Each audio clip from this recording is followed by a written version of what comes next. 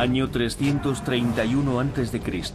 Cerca del pequeño pueblo de Gaugamela, en el actual Irak, dos grandes ejércitos libran una batalla en la que está en juego el futuro del mundo. En un lado, el gran rey de Persia, Darío, comandante del ejército más grande de la tierra. Tendría unos 250.000 hombres en el campo de batalla. En el otro lado, un ejército cinco veces más pequeño, dirigido por un joven de 26 años llamado Alejandro. A esa edad tan joven ya era un veterano comandante. Prepárense para presenciar la batalla más extraordinaria de la antigüedad como nunca lo habían hecho. Sean testigos de primera mano de innovadoras estrategias y armas de guerra. Tenían un arma muy parecida a esta, una lanza muy aerodinámica. ¿Quién era Alejandro? ¿Cómo pudo enfrentarse a un ejército cinco veces más numeroso que el suyo? Sus tácticas siguen vigentes en nuestros días. ¿Cuál era el arma secreta de Alejandro? Alejandro era un fenómeno. Retrocederemos en el tiempo para presenciar una de las batallas más extraordinarias de la historia. Gaugamela fue un punto de inflexión en la historia de la humanidad. Las líneas de combate están trazadas. El desenlace es imprevisible. Prepárense para la batalla. Será una lucha hasta el final, que cambiará la historia para siempre y otorgará a un joven con el sobrenombre de Alejandro. ¡A la carga! Magno. Batallas cruciales de la historia. Alejandro Magno. 1 de octubre del año 331 a.C. Cerca del pueblo de Gaugamela, los dos ejércitos más poderosos del mundo, el persa y el macedonio, están a punto de enfrentarse en combate. El ejército macedonio avanza primero, aunque es superado en número en una proporción de 5 a 1. Su joven jefe, Alejandro, ordena a sus tropas de élite atacar el centro de la línea persa.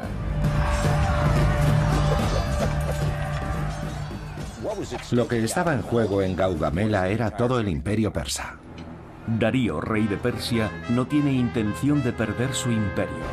Ya había sido derrotado por Alejandro en la batalla de Isos. Ahora está decidido a aplastar al rey niño. Darío ordena a sus hombres atacar el flanco derecho del ejército de Alejandro. Darío estaba tendiendo una trampa y obligando a Alejandro a ir directo a ella.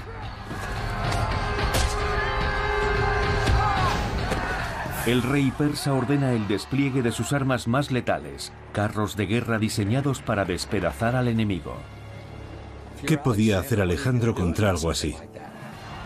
Teniendo que hacer frente a unos obstáculos increíbles y a unas armas aterradoras, ¿será Alejandro capaz de salvar a sus hombres y a su reino? La historia de Gaugamela comenzó realmente en un pequeño rincón apartado del mundo antiguo, una región al norte de Grecia llamada Macedonia.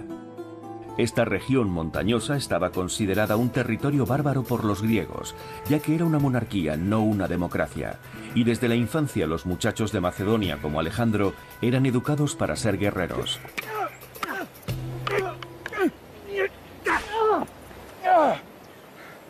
¡No! ¡Muévete! ¡Muévete y ataca!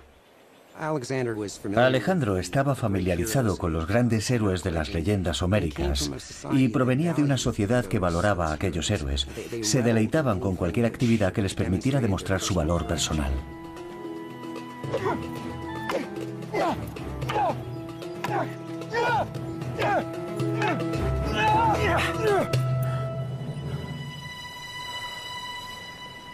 El padre de Alejandro era el rey Filipo de Macedonia. Curtido veterano en guerras tribales, era estudiante del arte de la guerra. El liderazgo y el ejército de Filipo unificaron el reino de Macedonia. Él había convertido a Alejandro en comandante de caballería a la edad de 16 años. Filipo no solo era un gran estadista, sino un brillante innovador. Lo que hizo Filipo fue volver a convertir Macedonia en el estado más poderoso de la antigüedad. Cambió literalmente la forma en que se organizaban los ejércitos y su manera de luchar. Filipo crea un ejército de profesionales y de hecho les paga, y les paga bien. Hacían instrucción todo el año. Estaban en unidades con gente de su propia región, así que estaban muy cohesionados, muy entrenados, muy bien adiestrados. Con Macedonia transformada en una potencia regional, Filipo intenta ahora unificar toda Grecia bajo su mando. Parmenión, volvamos a nuestros asuntos. Atenas y Tebas son un problema. Olvídate ahora de Atenas. Podemos derrotarlos, a los dos juntos o por separado. Voy a convertir a Alejandro en mi general. Ya está preparado.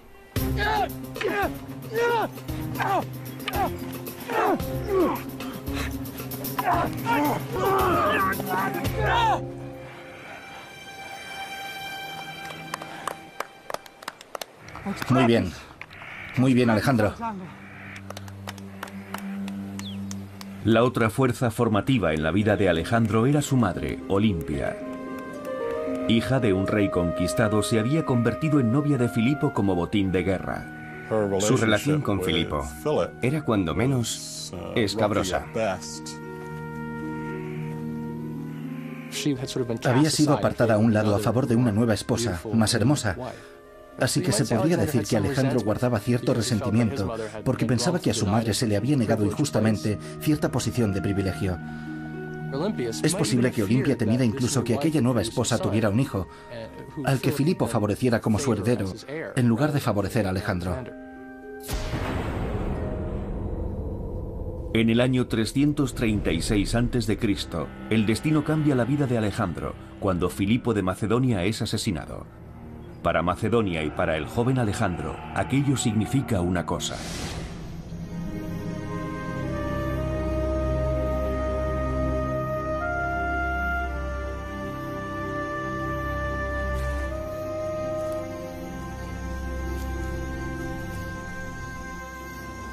Alejandro, Mi padre está muerto. sí, pero tú eres rey.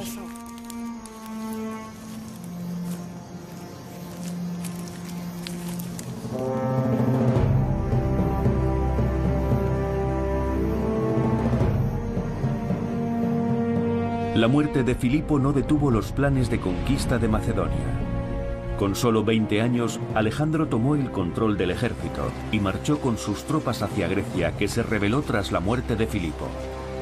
Atenas y otras ciudades-estado se rindieron al joven rey.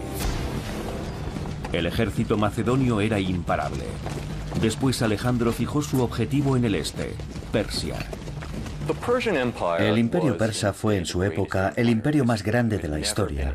Nunca había existido un imperio semejante, ni tan grande ni tan organizado como el imperio persa. En su apogeo se extendía desde la frontera indo-pakistaní hasta Macedonia y en el sur incluía a Egipto. Los persas y los griegos llevaban en guerra desde el año 550 a.C. aproximadamente, bastante más de 200 años. Persia había invadido Grecia, conquistado Macedonia, reducido a cenizas Atenas, violado los templos de los dioses. Alejandro creció con la idea de que el gran premio por excelencia era el imperio persa.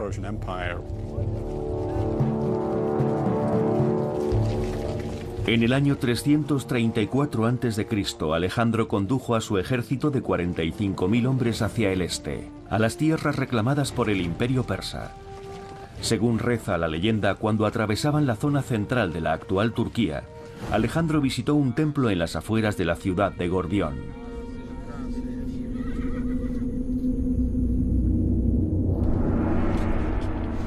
El templo albergaba un famoso enigma, el nudo gordiano, un antiguo arcano creado por los dioses. Un nudo tan intrincado que quien fuera capaz de deshacerlo se convertiría en el señor de Asia. Aquello representaba un desafío irresistible para Alejandro, que ya había declarado que conquistaría el continente. En aquella época un hombre como Alejandro, que más tarde entraría en la Ilíada y en la tradición homérica, si era rey, se suponía que tenías que salir a conquistar el mundo. Déjelo, Alteza. Es un enigma diseñado para dejar en ridículo a los extranjeros. Yo no soy un extranjero. Este fue una vez territorio griego. Soy el jefe de la Liga Helénica y aspiro a ser señor de Asia. El plano interior en el que habitaba estaba poblado por Aquiles, Héctor, Hércules, los grandes héroes. Y ese era su objetivo. Quería dejar un nombre que perdurara siempre, conseguir logros que nadie hubiera alcanzado nunca. Marchémonos. Fijaos bien. No puede desatarse. La profecía no dice que haya que desatarlo. Dice que hay que deshacerlo.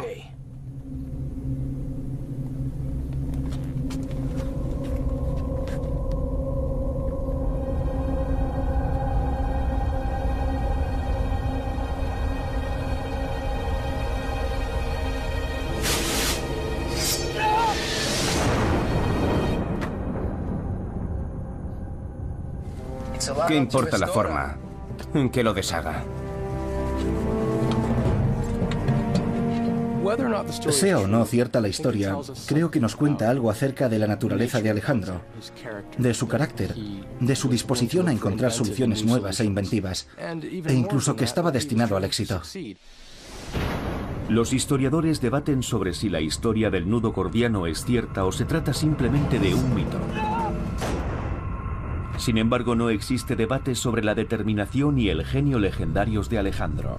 Ahora iban a ser puestos a prueba en una de las batallas más importantes de la antigüedad. Alejandro se dirige a una confrontación con el imperio persa. Pronto comenzará una batalla por el control del mundo conocido, en un lugar llamado Gaugamela.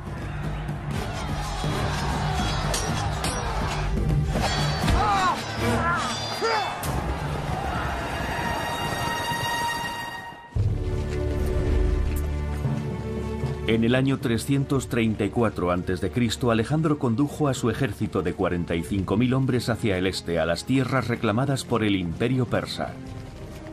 Pero la invasión apenas fue detectada por el rey persa.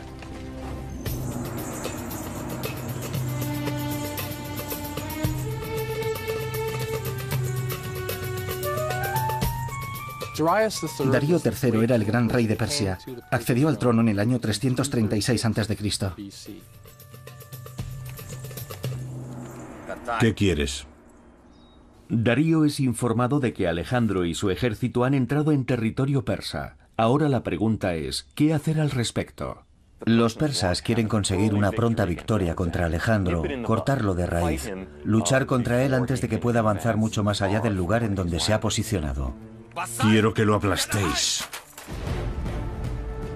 Pero la estrategia persa produce el efecto contrario. Su ejército es derrotado en la batalla de Granico, en la batalla de Isos y en el sitio de Tiro. Alejandro. Mientras Darío contemplaba el sorprendente éxito militar del joven general, comenzó a construir su ejército. Muchos de sus consejeros le dijeron, no libres batallas convencionales contra el ejército macedonio, son simplemente demasiado buenos, el riesgo de salir derrotados es demasiado alto. En vez de ello, rehuye la batalla y retírate. Deja que el intrincado terreno del suroeste asiático derrote a Alejandro. Destruye todo el alimento, quema todas las cosechas, impide que pueda alimentarse. Y así conseguirás con el tiempo derrotarlo. Ese tipo de política es muy difícil de llevar a cabo para Darío, ya que necesita demostrar su valía. Y tradicionalmente los reyes persas demuestran su valía ganando batallas. Pero antes de un enfrentamiento final con Alejandro, Darío decide negociar en vez de combatir. Darío envió varios mensajes a Alejandro, ofreciéndole un tratado de paz y varios acuerdos. Darío le dijo a Alejandro que si suspendía la campaña le daría dinero, la mitad del imperio que había conquistado hasta ese momento, e incluso la mano de su hija en matrimonio. Dicen que Alejandro, en respuesta, envió varias cartas diciéndole a Darío, ¿por qué habría de negociar contigo por algo que ya me pertenece? Léela otra vez. Gran rey. Léela. De Alejandro a Darío. Todo lo que posees ahora es mío. Si quieres defender tu trono, levántate y lucha por él. Lo que estaba en juego en Gaugamela era todo el imperio persa. Si Alejandro conseguía que Darío entrara en batalla y lo derrotaba, tendría derecho a reclamar el trono del imperio persa. ¿Qué pueblo es ese que se ve ahí abajo? Gaugamela, gran rey. Gaugamela. Dile al rey niño que me enfrentaré a él y lo aplastaré en Gaugamela.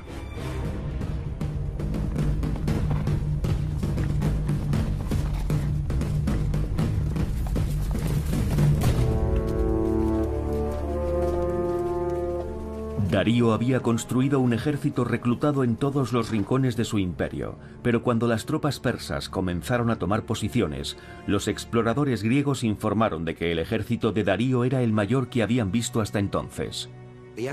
Las estimaciones abarcan un espectro muy amplio, pero sospechamos que tenía entre 200 y 250 mil hombres sobre el terreno, lo que equivaldría a unas cinco veces el tamaño del ejército de Alejandro. En relación al ejército macedonio, estamos hablando de unos 40.000 soldados de infantería de todos los tipos y unos 7.000 soldados de caballería. El general en jefe de Alejandro es Parmenión, un experimentado comandante de caballería. Parmenión era uno de los generales en quienes más confiaba Filipo. Era también de la vieja escuela. Era uno de los pocos generales que daba un paso adelante y discutía con Alejandro. Y en algunos casos Alejandro pedía consejo a Parmenión, a sabiendas de que obtendría una respuesta conservadora por su parte.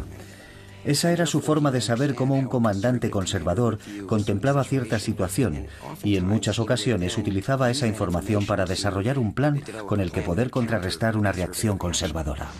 Puede que al joven Alejandro no le preocupara que su ejército fuera superado en una proporción de 5 a 1, pero al viejo general sí. Ataca de noche. Parmenión quiere atacar de noche mientras el enemigo duerme. Puede que nos superen en número, pero un ataque sorpresa sería deshonroso y cobarde. Yo en tu lugar atacaría ahora, Alejandro. Yo también. Si fuera Parmenión. Pero no soy Parmenión. Sería una lástima robar una victoria de esa manera. Atacaremos por la mañana. Era arrogante y temerario, pero tenía que serlo para actuar como líder en ese entorno. Darío esperaba un ataque nocturno y dejó a su ejército en guardia durante toda la noche. No era una fuerza cohesionada, sino una serie de grupos armados reclutados por los gobernadores o sátrapas de todos los rincones del imperio. El rey iba a ver al sátrapa y le decía, tu impuesto este año es de un millar de hombres. Y contaba con un gran número de sátrapas en diferentes lugares. Luchó con los etíopes, luchó con los bactrianos que ocupaban el actual Afganistán. Estaban por todas partes, tenían diferentes lenguas y armas y culturas diferentes. La mayor parte de los guerreros persas no llevaba armadura ni casco. Cada uno portaba una lanza de 2,40 centímetros y un escudo hecho de mimbre pero sus carencias en armadura y armas las compensaban numéricamente. Los persas no eran una pandilla de incompetentes. Sus tácticas llevaban siendo eficaces cientos de años. Tenían un gran imperio. Era un aval más que suficiente. Contra este colosal ejército, Alejandro tiene una ventaja. Este ejército profesional utiliza la falange macedonia. El capitán Dale Dye, oficial retirado, historiador y asesor fílmico, ha estudiado el modo de enfocar el combate de los macedonios. La falange macedonia fue probablemente el arma de guerra más poderosa de la antigüedad. La falange, bloques de hombres. 256 hombres en línea y 16 en fondo. Una vez en formación y avanzando no podían retroceder.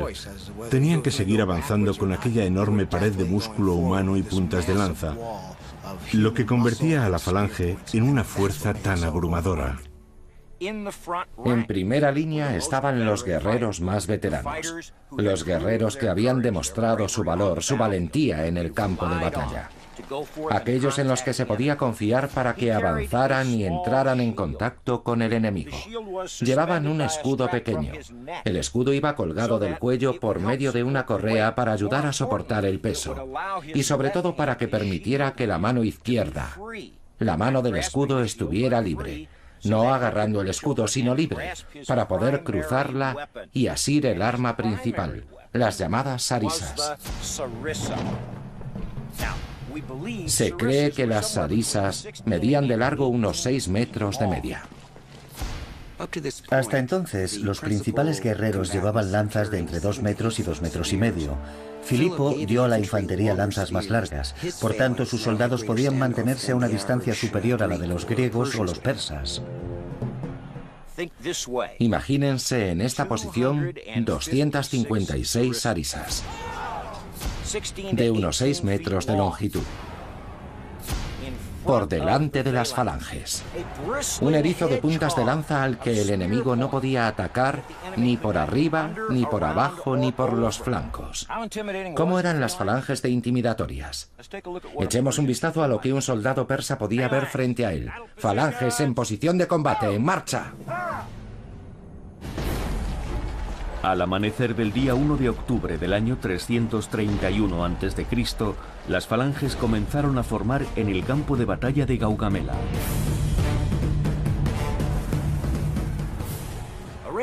Situada a la derecha de la falange, había generalmente una unidad de infantería pesada, compuesta por guerreros a los que los griegos llamaban oplitas. Estos soldados llevaban un escudo grande, a diferencia del escudo falangita más pequeño. Este escudo recibía el nombre de oplón.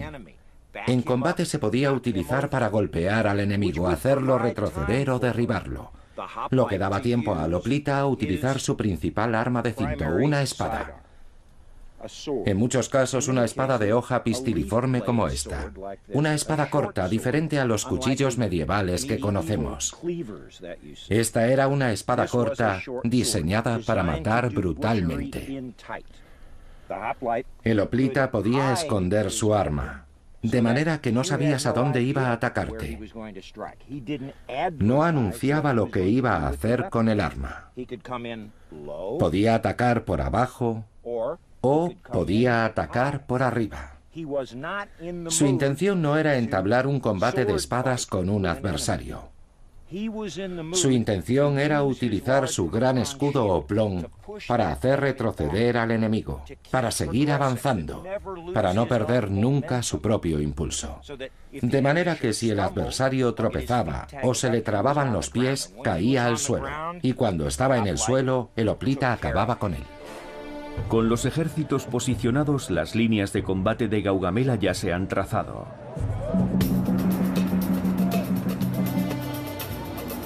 Al parecer, el plan de Darío era que Gaugamela fuera la batalla final. Constituye un punto de inflexión para Alejandro y para el futuro del mundo.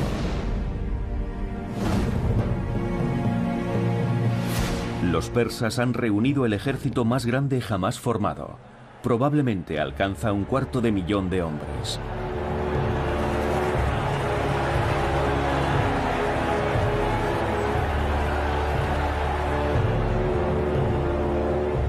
El ejército de Alejandro se compone solamente de 45.000.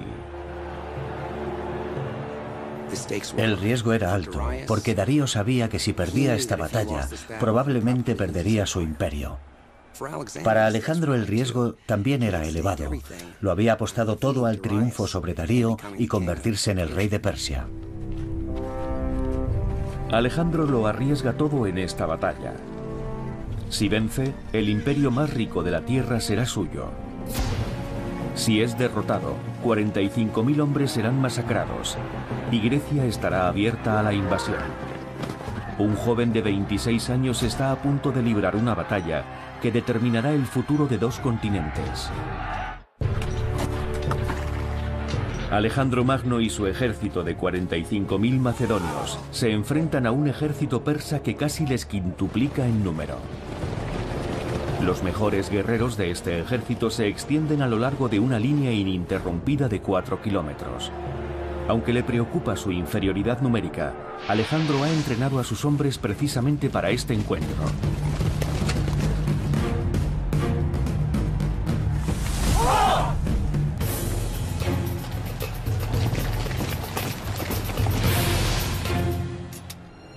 ¡Preparados!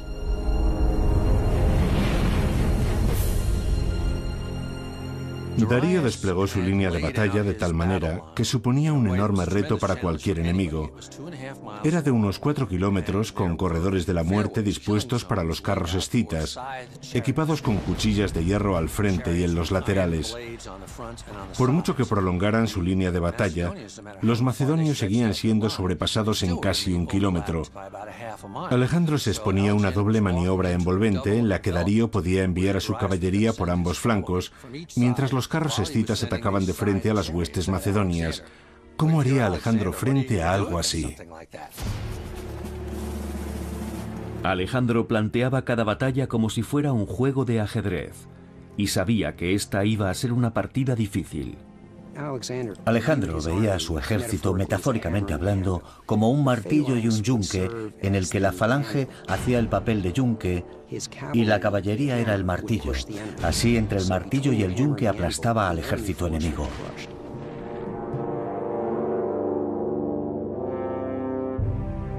En todas las batallas anteriores, la táctica del martillo y el yunque había funcionado a la perfección. Pero en Gaugamela esta estrategia era inviable. Con una línea persa que se extendía a lo largo de 4 kilómetros, la caballería macedonia no podía rodear por los flancos al enemigo. Alejandro tendría que elaborar una táctica completamente nueva. Primero agrupó a su infantería en formación de falange. La falange era un cuadro compuesto por 256 guerreros, 16 a cada lado y 16 de fondo, una formación casi imposible de detener. Esta estrategia de combate era una novedad en el mundo antiguo. Ahora quedaba por averiguar cómo usar su otra gran baza, la caballería. Armados como ningún otro y capacitados para trabajar como una sola unidad, los caballeros macedonios eran considerados los mejores jinetes del mundo. Los soldados de caballería de Alejandro iban protegidos con cascos y corazas de bronce, y cada uno iba armado con una lanza llamada sistón. Esta lanza tenía unos 3 metros de longitud, mientras que la lanza de caballería más común no llegaba a los 2 metros, de modo que tenía un gran alcance, lo que permitía al guerrero contactar con el enemigo antes de que éste contactase con él. Los jinetes portaban también una espada curva de un solo filo llamada copis. El copis era mucho más sofisticada que la espada pistiliforme de la infantería. Gracias a esta zona bombada que tenía la hoja cerca de la punta y a esta otra más fina y ligera cerca de la empuñadura, le otorgaba una gran potencia como un machete o un hacha. Era muy eficaz cortando y seccionando, causando estragos en el enemigo. El desafío que se le presenta a Alejandro es cómo utilizar de la mejor forma posible la falange y la caballería en su propio beneficio. Y lo que hace a continuación revolucionará la estrategia militar tradicional. En lugar de abordar de frente a un enemigo que le superaba en número, Alejandro sitúa a sus tropas de infantería formando un ángulo oblicuo. Llegó al campo de batalla con un ejército organizado en lo que entonces parecía una extraña formación. Si tuviéramos que analizarlo en términos militares modernos, si analizásemos la forma en que Alejandro dispuso sus fuerzas macedonias, diríamos que se enfrentó a la línea de batalla de Darío, en una formación escalonada hacia la izquierda en la que su flanco izquierdo rehuía la batalla. En términos militares modernos, significa que la falange macedonia presentaba una formación en orden oblicuo, con el ala izquierda orientada hacia el exterior del campo de batalla esperando un ataque por el flanco. Esta línea de ataque escalonada o en ángulo era inevitable que causase el desconcierto en un enemigo que jamás había contemplado una estrategia militar parecida.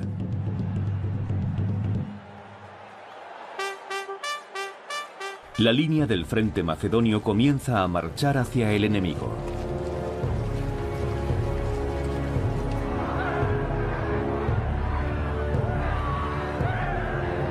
En primera línea del ejército persa están los inmortales, la guardia de élite de Darío. Cuando un guerrero caía, otro ocupaba su lugar. Se les conocía como los inmortales porque siempre había 10.000. Al ver aproximarse a los macedonios, Darío cree que la disposición en ángulo de Alejandro ha otorgado a los persas una enorme ventaja. Darío observa el gran espacio que se abre entre la caballería persa y las tropas de Alejandro. Alejandro era un estratega inteligente. Sabía que si se ofrece terreno abierto a una poderosa fuerza de caballería, la caballería cargará a través del terreno abierto. Así que Alejandro dio por sentado que si ofrecía ese espacio, Darío lo aprovecharía. Y no se equivocó. Darío ordena a su caballería que cargue contra el flanco macedonio.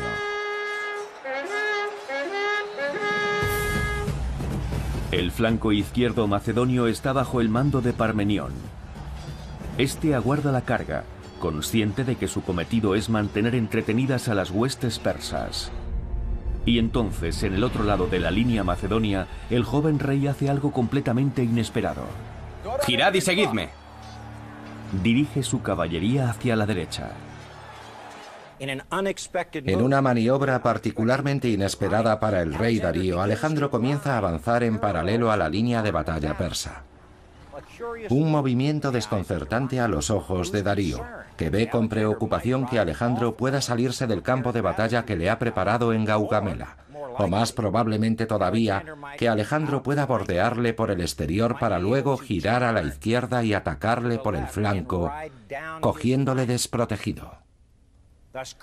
Darío no puede tolerar una maniobra así envió señales a su primo Besos, el jefe de la caballería bactriana, la caballería pesada situada en el flanco izquierdo persa. Le ordena, deténlos. Y Besos realiza su maniobra con la caballería. Comienza a cabalgar paralelamente a Alejandro. Darío observa con inquietud esta táctica poco ortodoxa, pero apenas tiene tiempo para preocuparse de ella. Porque en el centro del campo de batalla, la inquebrantable falange del ejército de Alejandro está a punto de chocar contra la guardia de élite del ejército persa. Y ahora, dos imperios, dos continentes y dos ejércitos se enfrentan, con el destino del mundo en juego. La batalla ha comenzado.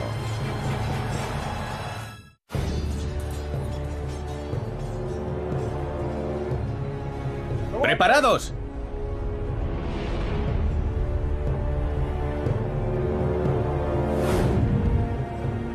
El 1 de octubre del año 331 a.C., el ejército de Alejandro el Grande está a punto de combatir contra un ejército mucho más numeroso comandado por el rey persa Darío.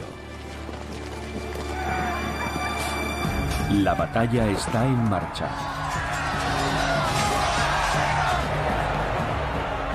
Mientras el centro y el flanco derecho chocan entre sí, Alejandro y su caballería de los compañeros continúan cabalgando hacia la derecha, al mismo tiempo que la caballería persa remeda cada uno de sus movimientos. Sin embargo, Alejandro cuenta con una baza oculta. Corriendo a pie detrás de la caballería, se oculta un regimiento completo de peltastas, la infantería ligera de Alejandro. Los peltastas eran hostigadores que aparecían por el campo de batalla, entrando y saliendo de los combates, arrojando palos, piedras y otras armas. Llevaban como protección un escudo llamado pelta, de ahí su nombre, peltastas.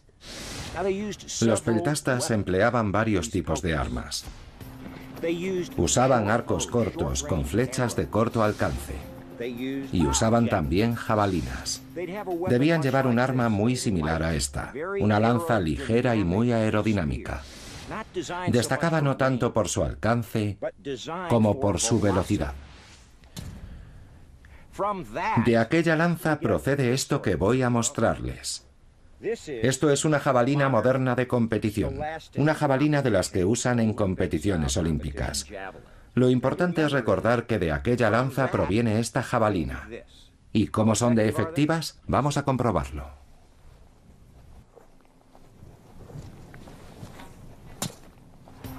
De modo que los peltastas, los hostigadores, se colocaban frente a la línea de batalla y usaban sus jabalinas para apuntar a objetivos importantes como por ejemplo oficiales y tripulantes de carros de guerra, y así mantenían al enemigo inquieto, desequilibrándolo. Otra de las armas que utilizaban era bastante común en la época. Era la onda. Debía tener un aspecto muy similar a esto. Es un dispositivo muy sencillo. Un saquito de cuero cosido en forma de bolsa para contener el proyectil o piedra y dos largas cuerdas enrolladas o trenzadas que servían para lanzar el proyectil.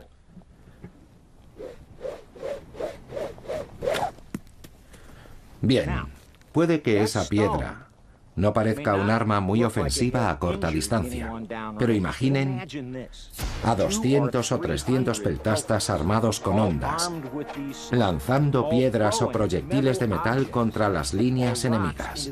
Más de uno tenía que resultar herido, y lo que es más importante, debía de sembrar el desconcierto.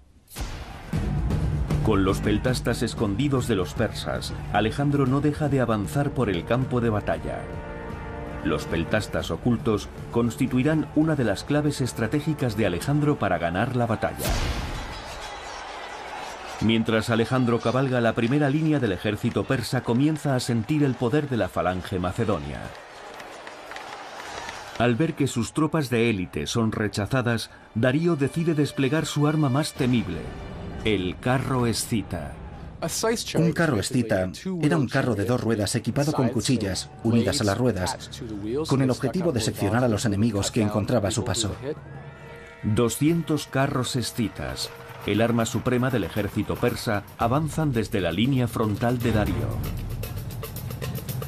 La mayoría de los comandantes enemigos habrían visto dos únicas defensas contra este ataque mantenerse en sus posiciones o retirarse antes de la llegada de los carros para reagruparse más tarde. Pero Alejandro ha concebido una táctica brillante para derrotarlos. Darío lanzó sus carros. Alejandro sabía que ese momento llegaría y había enseñado a sus hombres cómo rodear a los carros. Es una sencilla maniobra que todavía hoy se estudia en estrategia militar, un movimiento que se conoce como la ratonera. Ningún caballo se lanzaría sobre una línea de soldados equipados con lanzas afiladas y puntiagudas apuntando hacia arriba. Pero si se abre un espacio, el caballo entrará en ese espacio y quedará atrapado. Entonces el soldado puede destripar a los caballos y derribar a los aurigas y matarlos. Y eso es lo que hizo Alejandro. En una especie de táctica de judo, los macedonios utilizan el propio impulso de los carros en su contra. En cuestión de minutos la amenaza de los carros persas queda neutralizada.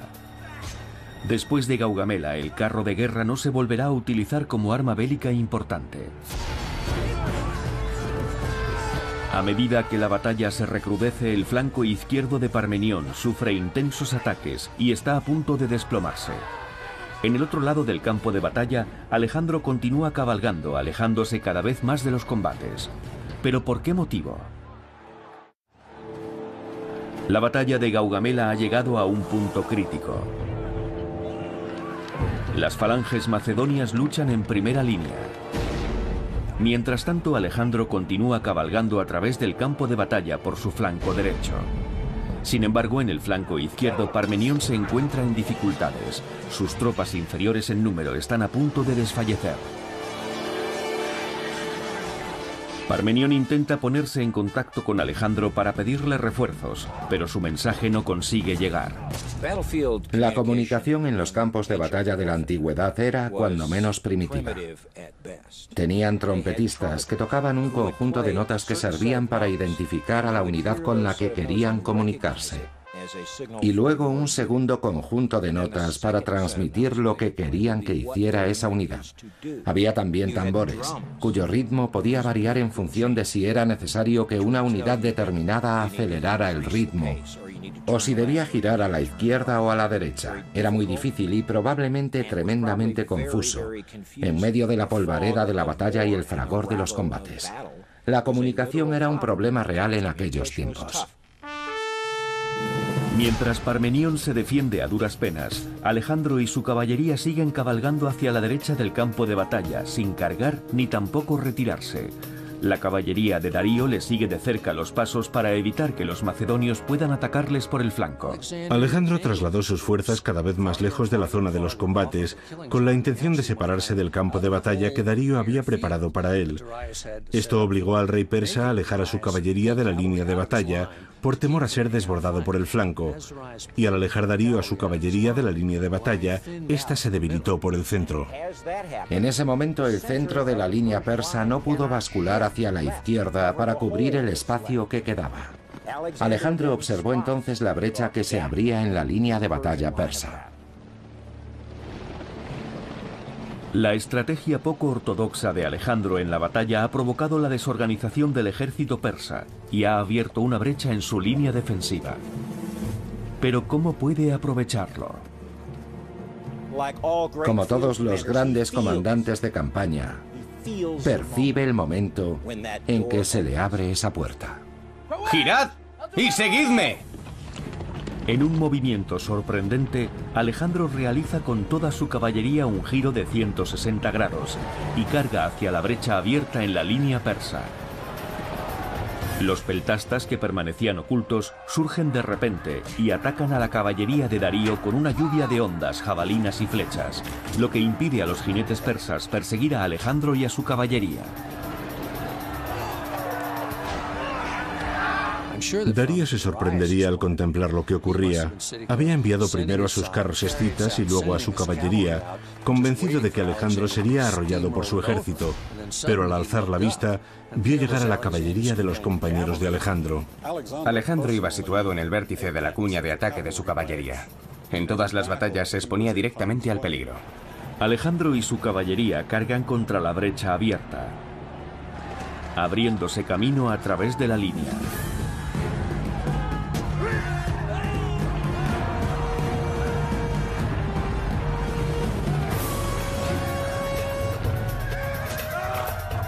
La falange es el yunque.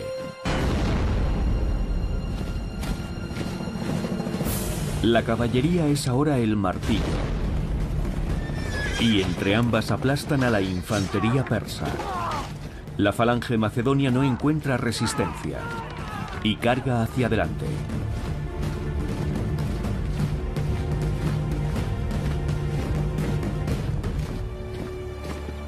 El ejército persa se rompe y empieza a emprender la huida. Una vez roto el centro de la línea persa, Alejandro tiene ahora un objetivo, el objetivo más antiguo de todas las guerras, matar al rey. Alejandro planteó la batalla de Gaugamela con la idea de enfrentarse a Darío, mano a mano, cara a cara, matarle y clavar su cabeza en una pica. Alejandro era consciente de que si mataba a Darío, si podía cortar la cabeza de la serpiente, el resto de la serpiente moriría. Pero justo cuando Alejandro está a punto de alcanzar a Darío en su huida, un cambio repentino detiene su persecución.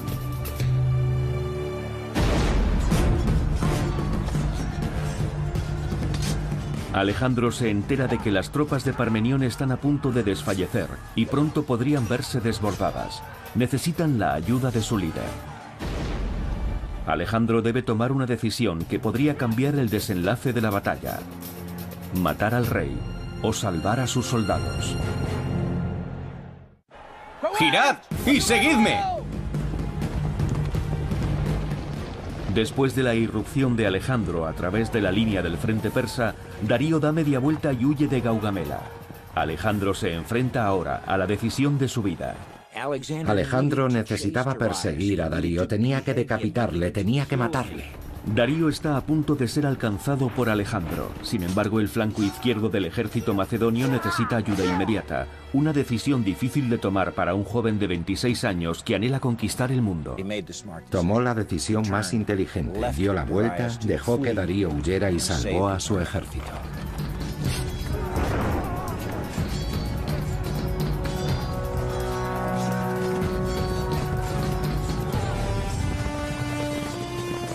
Alejandro corrió directamente hacia el campo de batalla y cayó sobre un muro de desconcertados soldados por la retaguardia.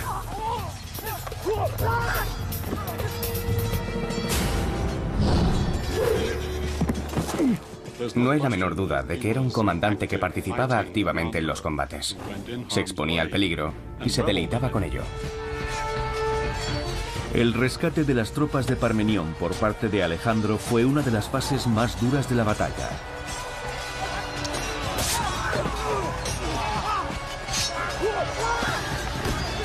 El propio Alejandro sufrió heridas de combate como cualquier otro de sus veteranos soldados.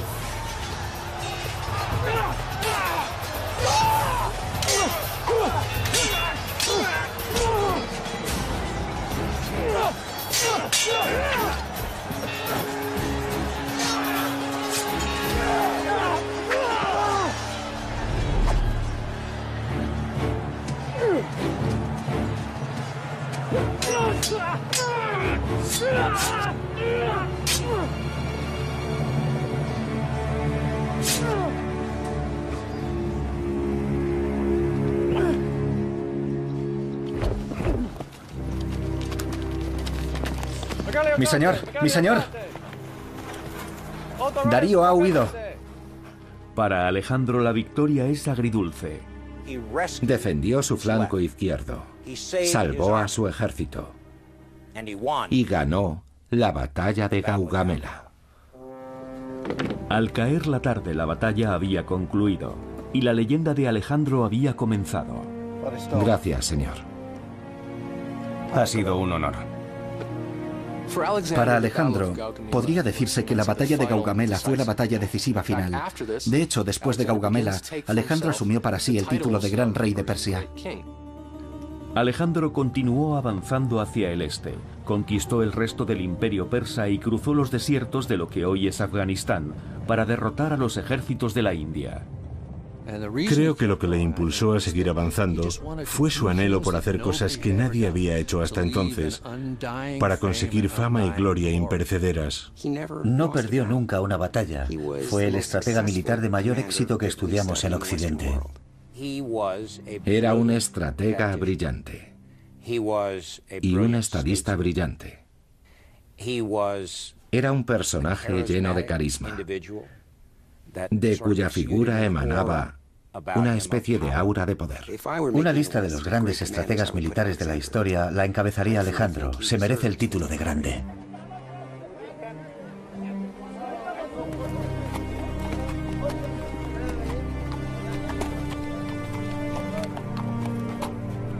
Según algunas fuentes, más de mil macedonios murieron en Gaugamela, mientras que los persas podían haber sufrido hasta 50.000 bajas. Darío escapó hacia las montañas para ser asesinado antes de cumplirse un año por uno de sus propios generales. Alejandro se autoproclamó señor de Asia y nadie pudo discutir este hecho por más tiempo. Alejandro fue grande porque veía con enorme lucidez sus objetivos. Consiguió despertar en las personas que le rodeaban tanta devoción por él y tanto anhelo por cumplir sus aspiraciones que se convirtieron en una marea incontenible. Y eso es lo que define a un gran hombre. Alejandro vivió solo seis años más. Y cuando murió a la edad de 32 años, había conquistado todo el mundo conocido.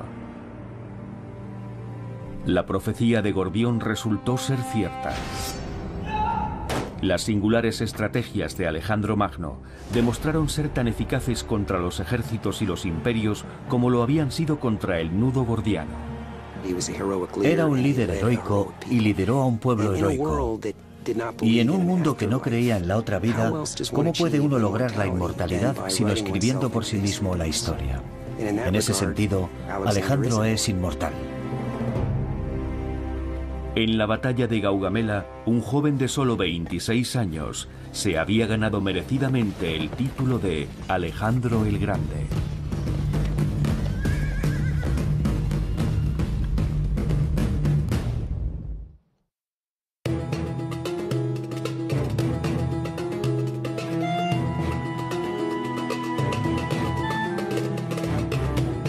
Ejército reclutado en todos los rincones de su imperio, pero cuando las tropas persas comenzaron a tomar posiciones, los exploradores griegos informaron de que el ejército de Darío era el mayor que habían visto hasta entonces.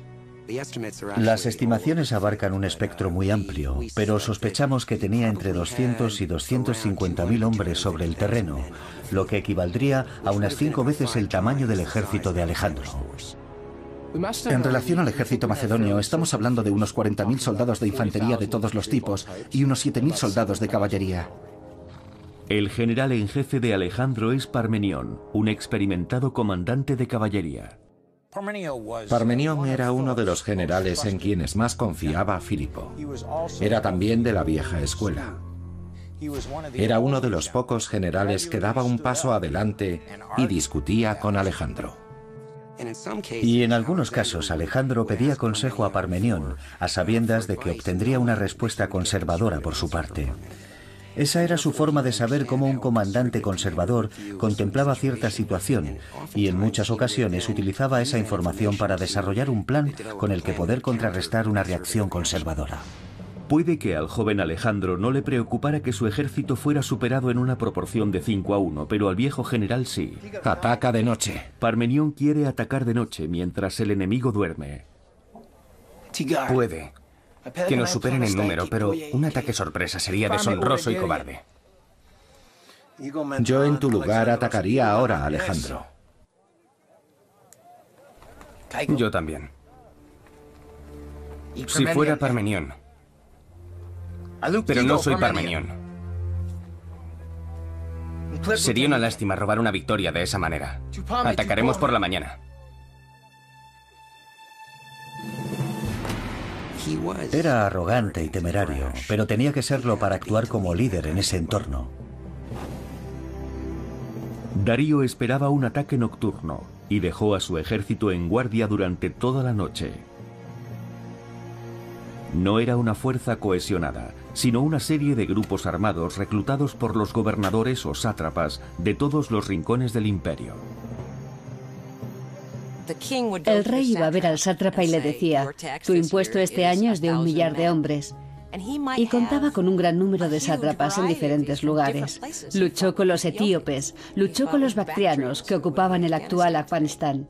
Estaban por todas partes, tenían diferentes lenguas y armas y culturas diferentes. La mayor parte de los guerreros persas no llevaba armadura ni casco. Cada uno portaba una lanza de 2,40 centímetros y un escudo hecho de mimbre pero sus carencias en armadura y armas las compensaban numéricamente. Los persas no eran una pandilla de incompetentes. Sus tácticas llevaban siendo eficaces cientos de años. Tenían un gran imperio. Era un aval más que suficiente. Contra este colosal ejército, Alejandro tiene una ventaja. Este ejército profesional utiliza la falange macedonia. El capitán Dale Dye, oficial retirado, historiador y asesor fílmico, ha estudiado el modo de enfocar el combate de los macedonios. La falange macedonia fue probablemente el arma de guerra más poderosa de la antigüedad. La falange, bloques de hombres. 256 hombres en línea y 16 en fondo. Una vez en formación y avanzando no podían retroceder.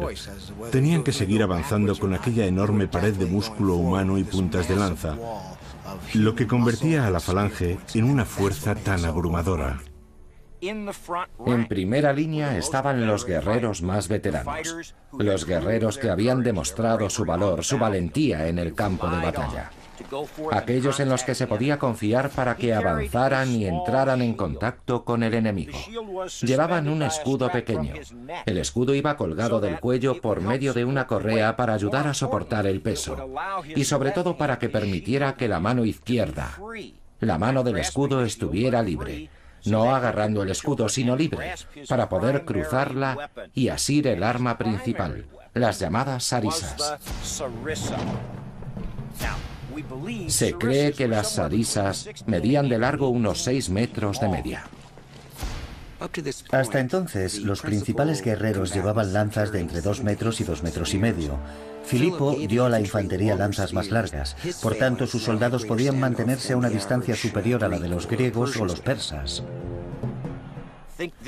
Imagínense en esta posición 256 sarisas de unos 6 metros de longitud. por delante de las falanges. Un erizo de puntas de lanza al que el enemigo no podía atacar ni por arriba, ni por abajo, ni por los flancos.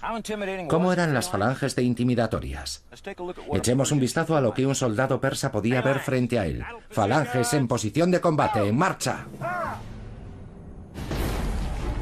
Al amanecer del día 1 de octubre del año 331 a.C., las falanges comenzaron a formar en el campo de batalla de Gaugamela.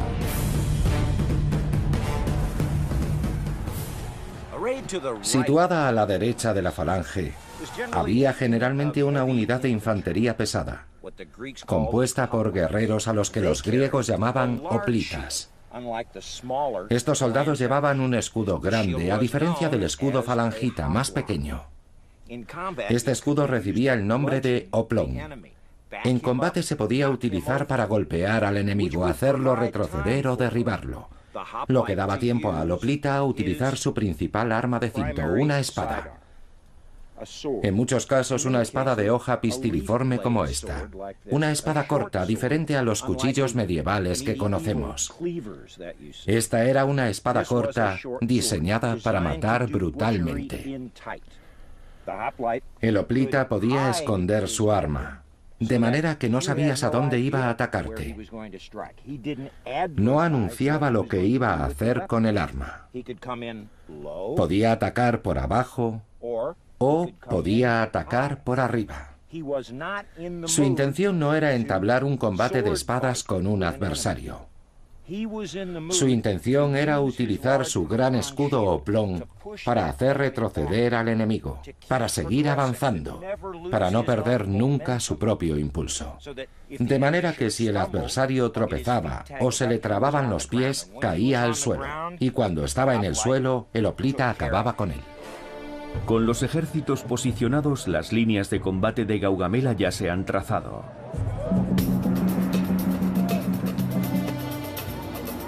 Al parecer, el plan de Darío era que Gaugamela fuera la batalla final.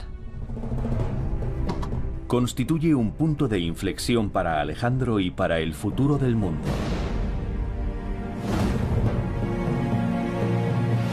Los persas han reunido el ejército más grande jamás formado probablemente alcanza un cuarto de millón de hombres.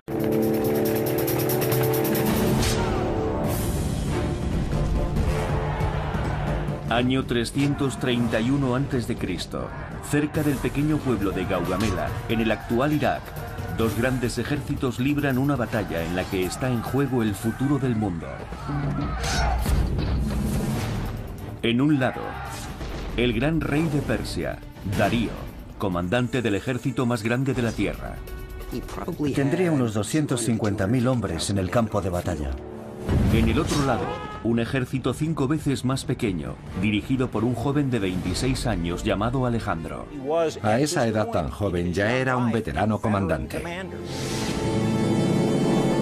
Prepárense para presenciar la batalla más extraordinaria de la antigüedad como nunca lo habían hecho sean testigos de primera mano de innovadoras estrategias y armas de guerra.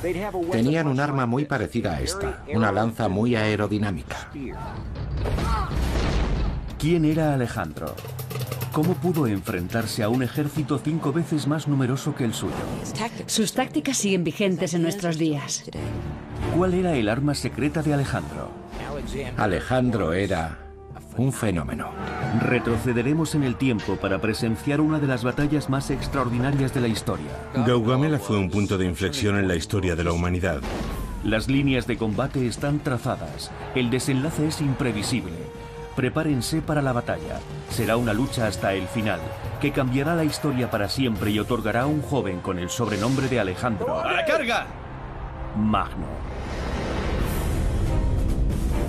Batallas cruciales de la historia. Alejandro Magno. 1 de octubre del año 331 a.C., cerca del pueblo de Gaugamela, los dos ejércitos más poderosos del mundo, el persa y el macedonio, están a punto de enfrentarse en combate. El ejército macedonio avanza primero, aunque es superado en número en una proporción de 5 a 1. Su joven jefe, Alejandro, ordena a sus tropas de élite atacar el centro de la línea persa.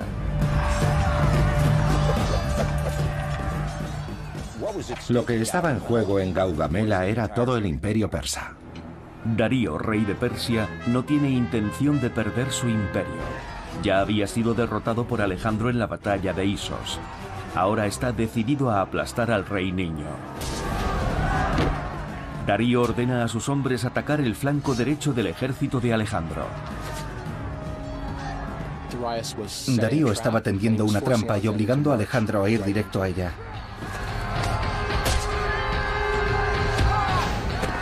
El rey persa ordena el despliegue de sus armas más letales, carros de guerra diseñados para despedazar al enemigo. ¿Qué podía hacer Alejandro contra algo así?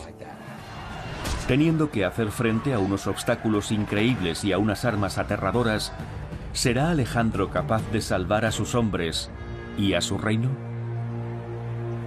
La historia de Gaugamela comenzó realmente en un pequeño rincón apartado del mundo antiguo, una región al norte de Grecia llamada Macedonia. Esta región montañosa estaba considerada un territorio bárbaro por los griegos, ya que era una monarquía, no una democracia, y desde la infancia los muchachos de Macedonia como Alejandro eran educados para ser guerreros.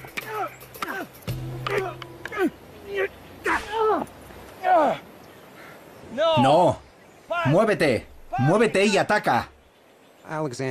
Alejandro estaba familiarizado con los grandes héroes de las leyendas homéricas y provenía de una sociedad que valoraba a aquellos héroes. Se deleitaban con cualquier actividad que les permitiera demostrar su valor personal.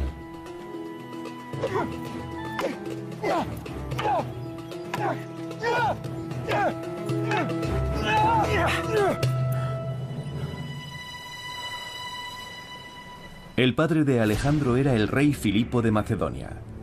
Curtido veterano en guerras tribales, era estudiante del arte de la guerra. El liderazgo y el ejército de Filipo unificaron el reino de Macedonia.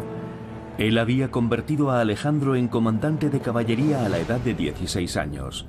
Filipo no solo era un gran estadista, sino un brillante innovador. Lo que hizo Filipo fue volver a convertir Macedonia en el estado más poderoso de la antigüedad. Cambió literalmente la forma en que se organizaban los ejércitos y su manera de luchar. Filipo crea un ejército de profesionales y de hecho les paga, y les paga bien. Hacían instrucción todo el año. Estaban en unidades con gente de su propia región, así que estaban muy cohesionados, muy entrenados, muy bien adiestrados. Con Macedonia transformada en una potencia regional, Filipo intenta ahora unificar toda Grecia bajo su mando. Parmenión, volvamos a nuestros asuntos. Atenas y Tebas son un problema. Olvídate ahora de Atenas. Podemos derrotarlos, a los dos juntos o por separado. Voy a convertir a Alejandro en mi general. Ya está preparado.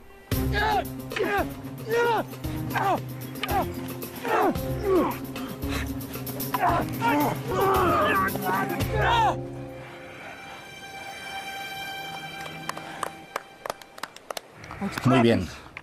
Muy bien, Alejandro. La otra fuerza formativa en la vida de Alejandro era su madre, Olimpia. Hija de un rey conquistado, se había convertido en novia de Filipo como botín de guerra. Su relación con Filipo era cuando menos escabrosa. Había sido apartada a un lado a favor de una nueva esposa, más hermosa. Así que se podría decir que Alejandro guardaba cierto resentimiento porque pensaba que a su madre se le había negado injustamente cierta posición de privilegio. Es posible que Olimpia temiera incluso que aquella nueva esposa tuviera un hijo, al que Filipo favoreciera como su heredero, en lugar de favorecer a Alejandro. En el año 336 a.C., el destino cambia la vida de Alejandro cuando Filipo de Macedonia es asesinado. Para Macedonia y para el joven Alejandro, aquello significa una cosa.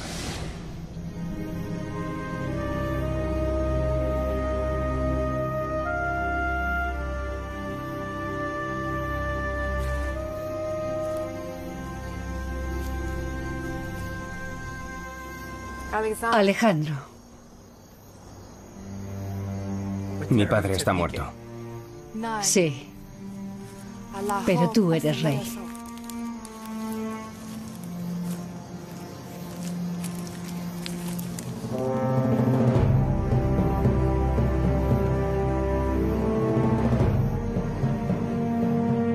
La muerte de Filipo no detuvo los planes de conquista de Macedonia. Con solo 20 años, Alejandro tomó el control del ejército y marchó con sus tropas hacia Grecia, que se rebeló tras.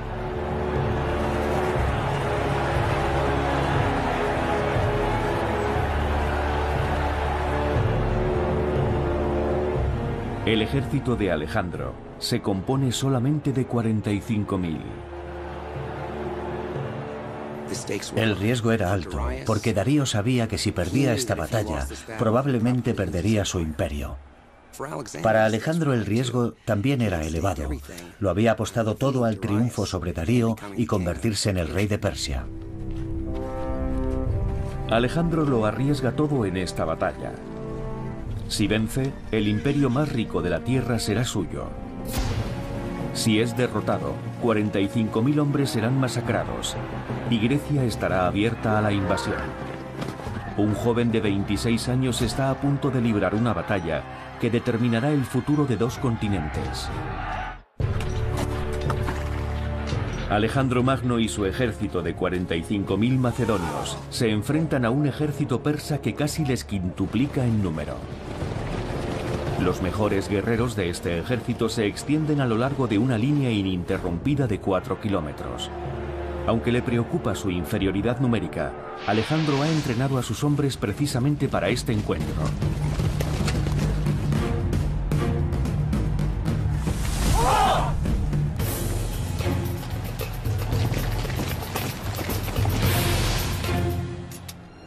¡Preparados!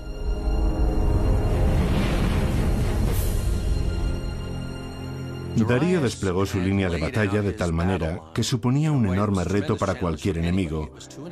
Era de unos cuatro kilómetros con corredores de la muerte dispuestos para los carros escitas, equipados con cuchillas de hierro al frente y en los laterales.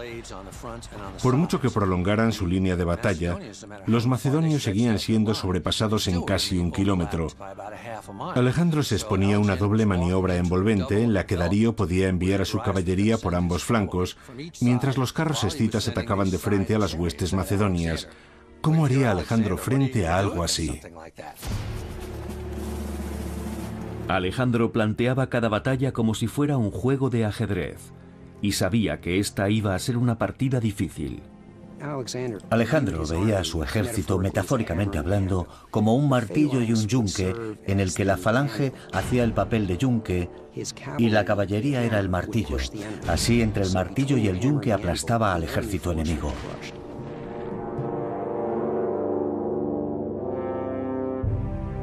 En todas las batallas anteriores, la táctica del martillo y el yunque había funcionado a la perfección.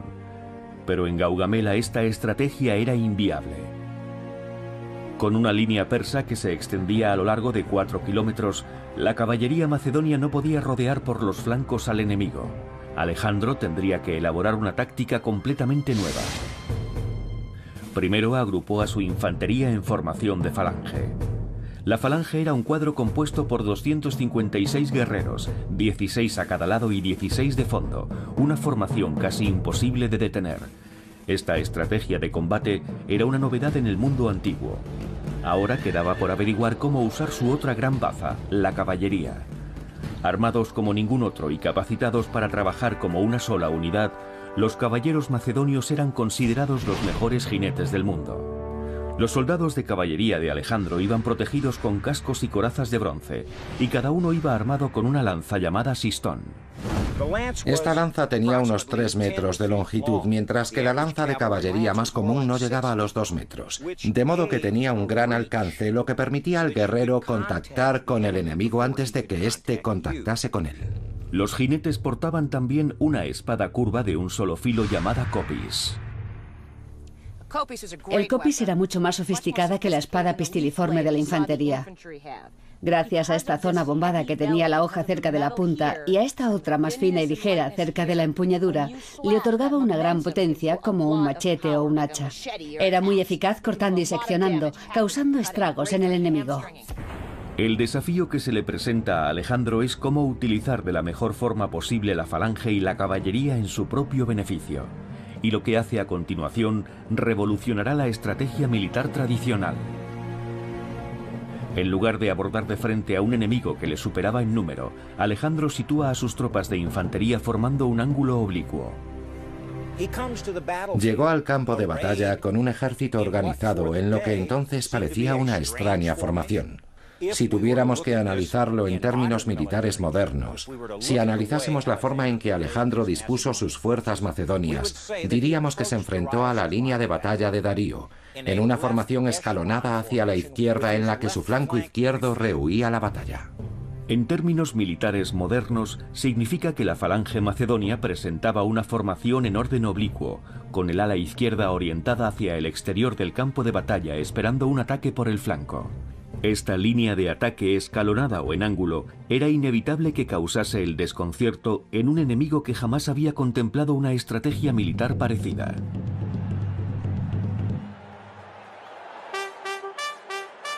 La línea del frente macedonio comienza a marchar hacia el enemigo.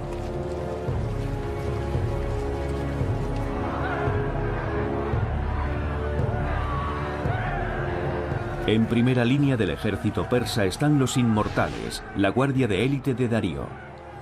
Cuando un guerrero caía, otro ocupaba su lugar. Se les conocía como los inmortales porque siempre había 10.000. Al ver aproximarse a los macedonios, Darío cree que la disposición en ángulo de Alejandro ha otorgado a los persas una enorme ventaja. Darío observa el gran espacio que se abre entre la caballería persa y las tropas de Alejandro. Alejandro era un estratega inteligente. Sabía que si se ofrece terreno abierto a una poderosa fuerza de caballería, la caballería cargará a través del terreno abierto.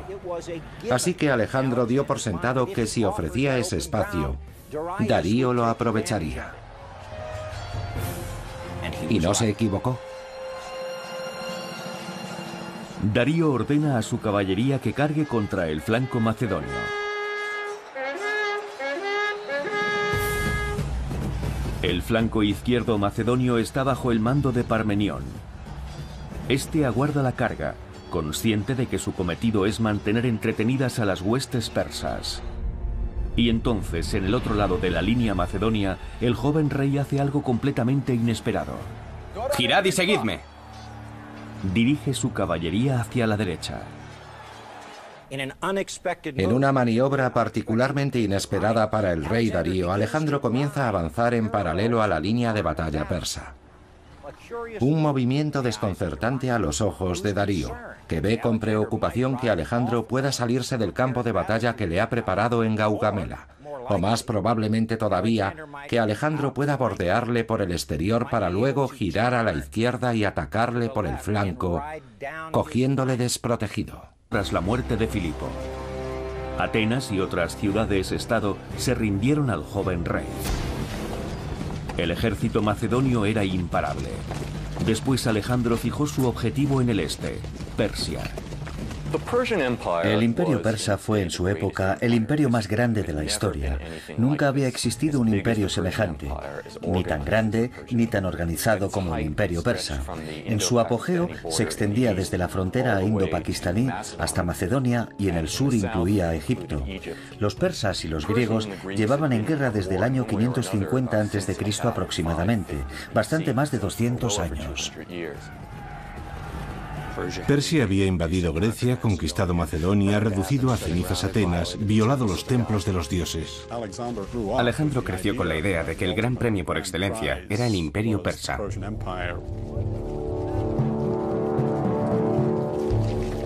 En el año 334 a.C., Alejandro condujo a su ejército de 45.000 hombres hacia el este, a las tierras reclamadas por el imperio persa. Según reza la leyenda, cuando atravesaban la zona central de la actual Turquía, Alejandro visitó un templo en las afueras de la ciudad de Gordión.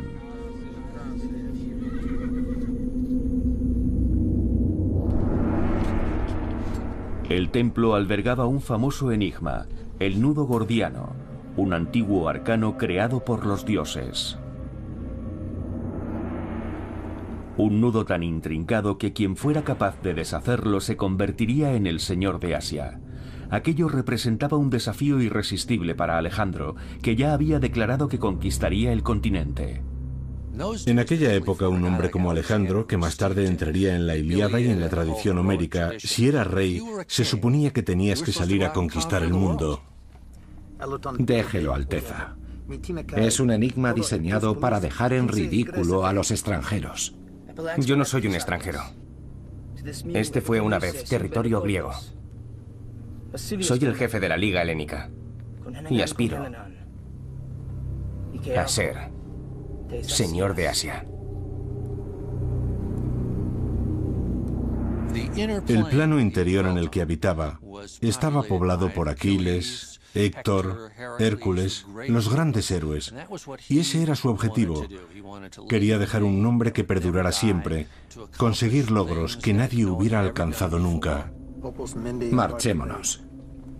Fijaos bien. No puede desatarse. La profecía no dice que haya que desatarlo. Dice que hay que deshacerlo.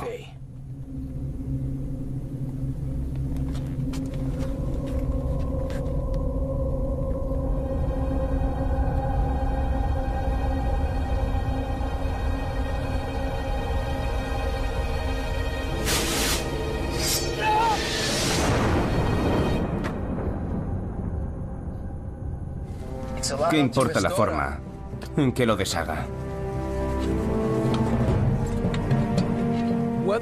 Sea o no cierta la historia, creo que nos cuenta algo acerca de la naturaleza de Alejandro, de su carácter, de su disposición a encontrar soluciones nuevas e inventivas, e incluso que estaba destinado al éxito. Los historiadores debaten sobre si la historia del nudo gordiano es cierta o se trata simplemente de un mito. Sin embargo, no existe debate sobre la determinación y el genio legendarios de Alejandro. Ahora iban a ser puestos a prueba en una de las batallas más importantes de la antigüedad. Alejandro se dirige a una confrontación con el imperio persa. Pronto comenzará una batalla por el control del mundo conocido, en un lugar llamado Gaugamela.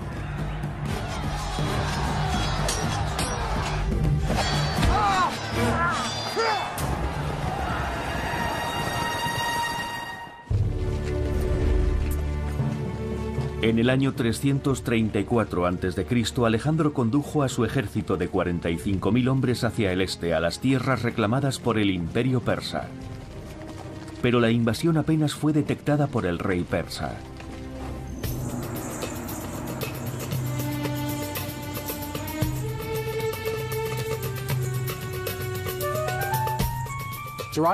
Darío III era el gran rey de Persia. Accedió al trono en el año 336 a.C. ¿Qué quieres? Darío es informado de que Alejandro y su ejército han entrado en territorio persa. Ahora la pregunta es, ¿qué hacer al respecto? Los persas quieren conseguir una pronta victoria contra Alejandro, cortarlo de raíz, luchar contra él antes de que pueda avanzar mucho más allá del lugar en donde se ha posicionado. Quiero que lo aplastéis. Pero la estrategia persa produce el efecto contrario. Su ejército es derrotado en la batalla de Granico, en la batalla de Isos y en el sitio de Tiro. Alejandro. Mientras Darío contemplaba el sorprendente éxito militar del joven general, comenzó a construir su ejército. Muchos de sus consejeros le dijeron, no libres batallas convencionales contra el ejército macedonio, son simplemente demasiado buenos, el riesgo de salir derrotados es demasiado alto. En vez de ello, rehuye la batalla y retírate. Deja que el intrincado terreno del suroeste asiático derrote a Alejandro. Destruye todo el alimento, quema todas las cosechas, impide que pueda alimentarse. Y así conseguirás con el tiempo derrotarlo. Ese tipo de política es muy difícil de llevar a cabo para Darío, ya que necesita demostrar su valía. Y tradicionalmente los reyes persas demuestran su valía ganando batallas. Pero antes de un enfrentamiento final con Alejandro, Darío decide negociar en vez de combatir. Darío envió varios mensajes a Alejandro, ofreciéndole un tratado de paz y varios acuerdos. Darío le dijo a Alejandro que si suspendía la campaña le daría dinero, la mitad del imperio que había conquistado hasta ese momento, e incluso la mano de su hija en matrimonio. Dicen que Alejandro, en respuesta, envió varias cartas diciéndole a Darío, ¿por qué habría de negociar contigo por algo que ya me pertenece? Léela otra vez. Gran rey. Léela. De Alejandro a Darío. Todo lo que posees ahora es mío. Si quieres defender tu trono, levántate y lucha por él. Lo que estaba en juego en Gaugamela era todo el imperio persa. Si Alejandro conseguía que Darío entrara en batalla y lo derrotaba, tendría derecho a reclamar el trono del imperio persa. ¿Qué pueblo es ese que se ve ahí abajo? Gaugamela, gran rey. Gaugamela. Dile al rey niño que me enfrentaré a él y lo aplastaré en Gaugamela.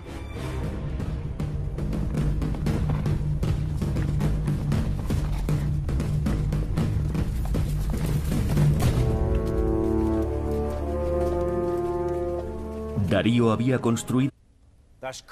Darío no puede tolerar una maniobra así. Envió señales a su primo Besos, el jefe de la caballería bactriana, la caballería pesada situada en el flanco izquierdo persa. Le ordena, deténlos. Y Besos realiza su maniobra con la caballería. Comienza a cabalgar paralelamente a Alejandro. Darío observa con inquietud esta táctica poco ortodoxa, pero apenas tiene tiempo para preocuparse de ella. Porque en el centro del campo de batalla, la inquebrantable falange del ejército de Alejandro está a punto de chocar contra la guardia de élite del ejército persa. Y ahora, dos imperios, dos continentes y dos ejércitos se enfrentan, con el destino del mundo en juego. La batalla ha comenzado.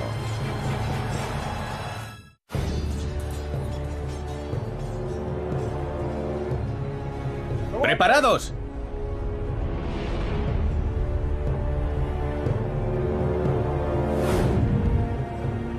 El 1 de octubre del año 331 a.C., el ejército de Alejandro el Grande está a punto de combatir contra un ejército mucho más numeroso comandado por el rey persa Darío. La batalla está en marcha. Mientras el centro y el flanco derecho chocan entre sí, Alejandro y su caballería de los compañeros continúan cabalgando hacia la derecha, al mismo tiempo que la caballería persa remeda cada uno de sus movimientos. Sin embargo, Alejandro cuenta con una baza oculta. Corriendo a pie detrás de la caballería, se oculta un regimiento completo de peltastas, la infantería ligera de Alejandro. Los peltastas eran hostigadores que aparecían por el campo de batalla, entrando y saliendo de los combates, arrojando palos, piedras y otras armas. Llevaban como protección un escudo llamado pelta, de ahí su nombre, peltastas. Los peltastas empleaban varios tipos de armas. Usaban arcos cortos con flechas de corto alcance y usaban también jabalinas. Debían llevar un arma muy similar a esta, una lanza ligera y muy aerodinámica. Destacaba no tanto por su alcance como por su velocidad. De aquella lanza procede esto que voy a mostrarles. Esto es una jabalina moderna de competición, una jabalina de las que usan en competiciones olímpicas. Lo importante es recordar que de aquella lanza proviene esta jabalina. ¿Y cómo son de efectivas? Vamos a comprobarlo.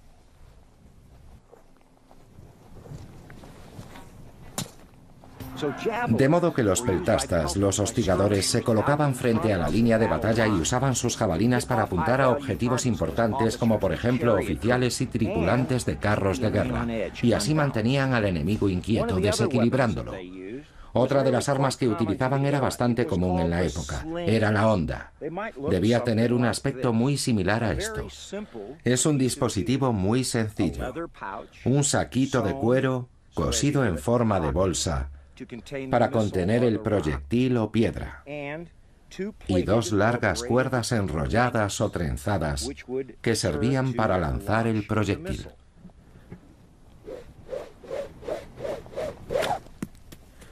Bien, puede que esa piedra no parezca un arma muy ofensiva a corta distancia, pero imaginen a 200 o 300 peltastas armados con ondas, lanzando piedras o proyectiles de metal contra las líneas enemigas.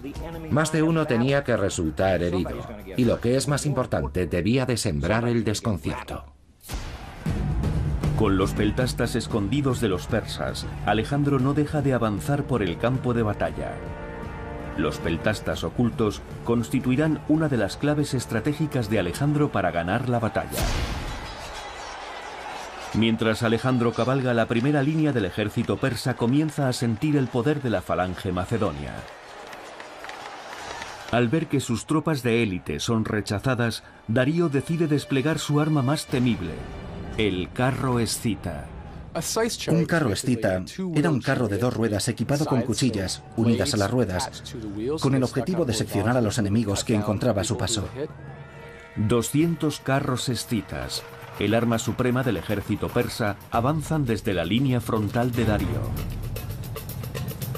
La mayoría de los comandantes enemigos habrían visto dos únicas defensas contra este ataque mantenerse en sus posiciones o retirarse antes de la llegada de los carros para reagruparse más tarde. Pero Alejandro ha concebido una táctica brillante para derrotarlos. Darío lanzó sus carros. Alejandro sabía que ese momento llegaría y había enseñado a sus hombres cómo rodear a los carros. Es una sencilla maniobra que todavía hoy se estudia en estrategia militar, un movimiento que se conoce como la ratonera. Ningún caballo se lanzaría sobre una línea de soldados equipados con lanzas afiladas y puntiagudas apuntando hacia arriba. Pero si se abre un espacio, el caballo entrará en ese espacio y quedará atrapado. Entonces el soldado puede destripar a los caballos y derribar a los aurigas y matarlos. Y eso es lo que hizo Alejandro. En una especie de táctica de judo, los macedonios utilizan el propio impulso de los carros en su contra. En cuestión de minutos la amenaza de los carros persas queda neutralizada. Después de Gaugamela, el carro de guerra no se volverá a utilizar como arma bélica importante.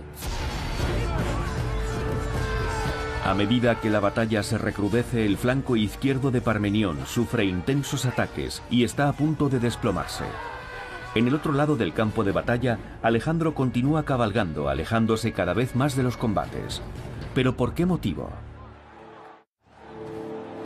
La batalla de Gaugamela ha llegado a un punto crítico. Las falanges macedonias luchan en primera línea. Mientras tanto, Alejandro continúa cabalgando a través del campo de batalla por su flanco derecho. Sin embargo, en el flanco izquierdo, Parmenión se encuentra en dificultades. Sus tropas inferiores en número están a punto de desfallecer. Parmenión intenta ponerse en contacto con Alejandro para pedirle refuerzos, pero su mensaje no consigue llegar. La comunicación en los campos de batalla de la antigüedad era cuando menos primitiva. Tenían trompetistas que tocaban un conjunto de notas que servían para identificar a la unidad con la que querían comunicarse y luego un segundo conjunto de notas para transmitir lo que querían que hiciera esa unidad. Había también tambores, cuyo ritmo podía variar en función de si era necesario que una unidad determinada acelerara el ritmo o si debía girar a la izquierda o a la derecha. Era muy difícil y probablemente tremendamente confuso, en medio de la polvareda de la batalla y el fragor de los combates. La comunicación era un problema real en aquellos tiempos.